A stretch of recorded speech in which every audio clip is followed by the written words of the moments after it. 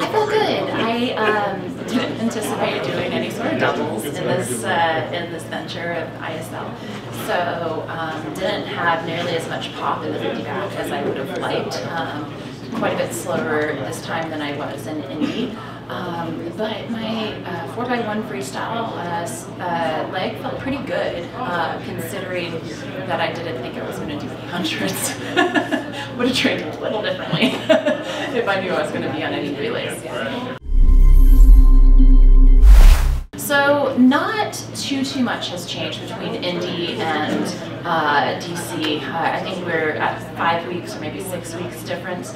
Um, I focused way more on lifting and kind of like the pop um, of, of the start, backstroke starts and turns, and um, tried to try to really work on the, the pieces because after really evaluating my swims in Indy, I thought the swimming felt pretty good, but the skills, um, starts, breakouts, turns, approaches into the wall, uh, those types of things um, were, I, I, needed to clean those up.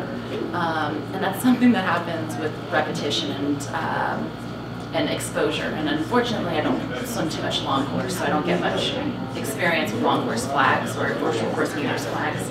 Um, so it was still a little off today, but um, all that being said, I was I was pretty pretty pleased with my swims. I was just saying, um, you know, someone who really wants to give back to the sport and feels so indebted to both the sport of swimming and USA Swimming. Um, I think this is the ISL is something really great that we need to support because it is such a wonderful opportunity for this generation and the next generation of swimmers. Um, I, I, think it has so much potential.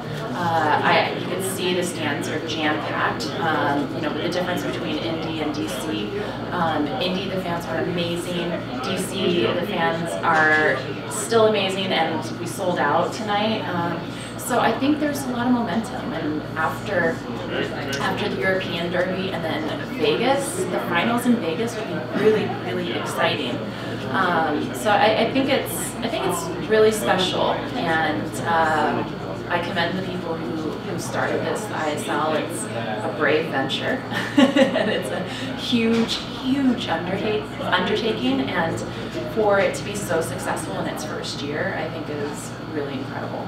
I don't quite know how I see my involvement. Um, you know, I definitely would love to still be involved with uh, Team Trident, DC Trident, if I can. Be, um, I don't know if I'll be swimming next year, um, but we'll see. You never know. Uh, I, I, really didn't think I was going to be swimming um, at all uh, until uh, late spring or so. Um, but uh, I would love to continue to show my support and, and help the league out.